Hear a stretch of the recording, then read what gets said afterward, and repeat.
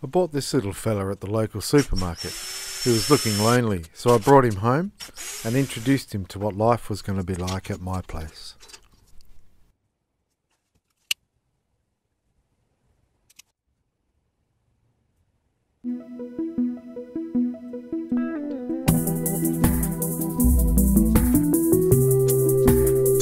Not sure what this stuff is, but it grows like a weed in my area.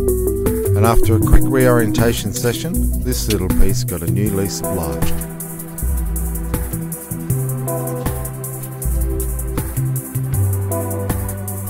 In this model, I found this seat, and it looked like things were starting to take shape.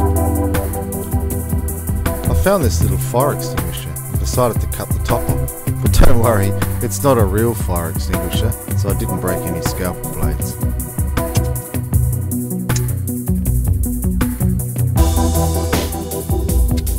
My mother gave me this beard trimming looking thingy, but from the minute I saw it, I knew it was actually designed to tear the shreds out of the back wheels on other people's motorbikes. A quick date with the Dremel and another piece of the puzzle was ready to go.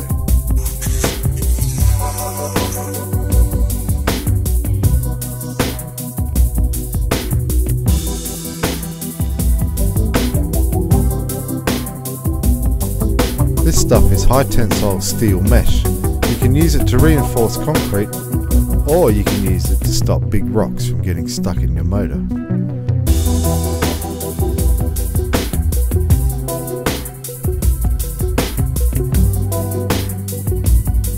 Inside this model, I found this differential. I realised it would be better for delivering power to the back wheels than the piece of wire I was currently using.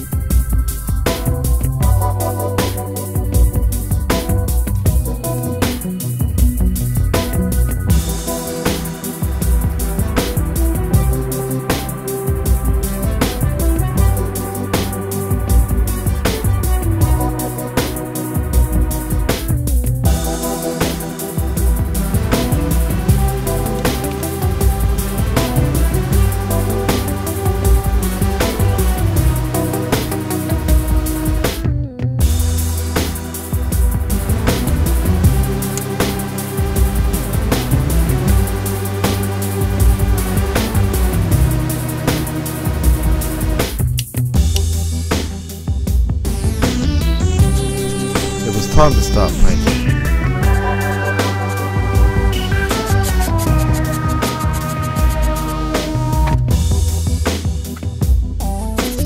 When you build crazy crap like I do, it's a good idea to give things a quick coat of paint as soon as you're comfortable with the shape of the piece.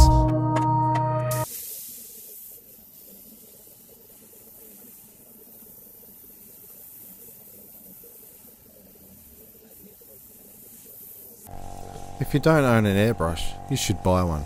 Even if you don't want to paint anything, you don't even like modelling, it doesn't really matter, you should still just go and buy an airbrush. This is why.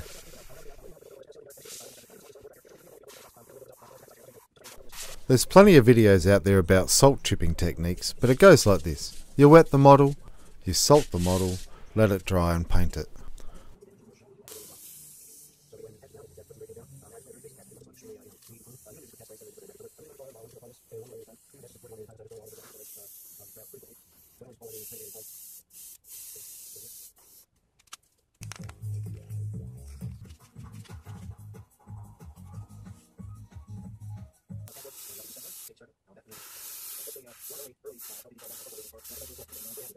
Once the paint's dry, you wash the salt off and you're left with this kind of look.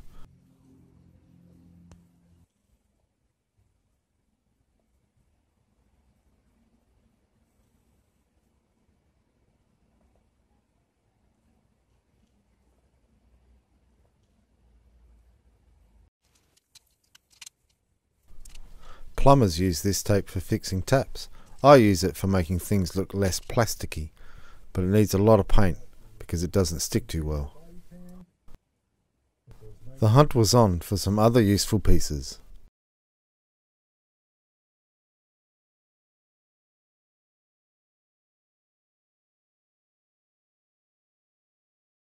I couldn't decide if I wanted to use this piece at the front or this piece, so I used them both.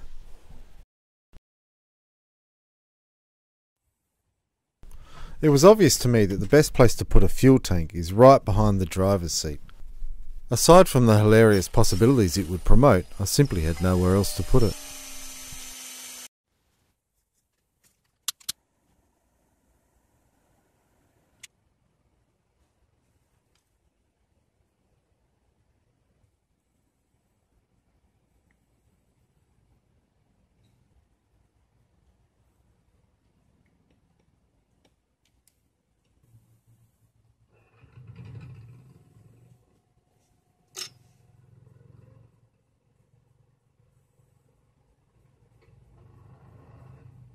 Música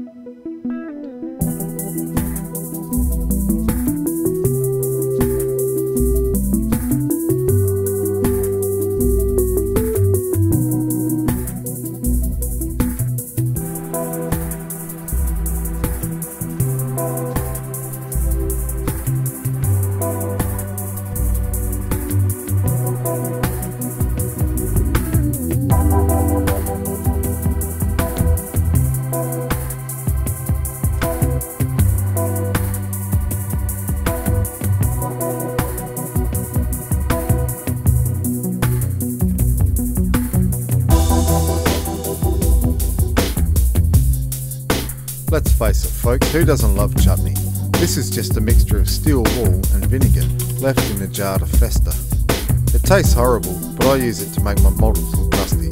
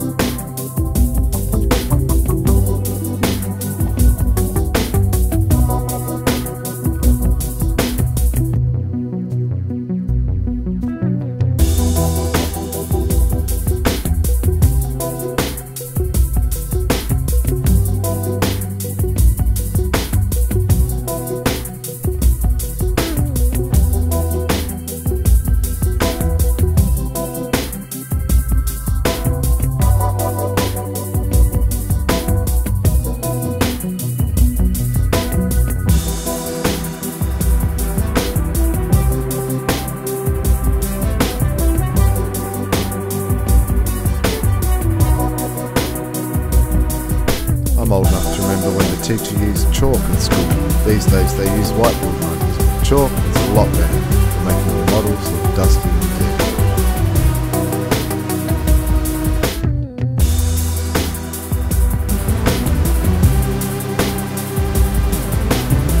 After all that hard work, here's what I ended up with.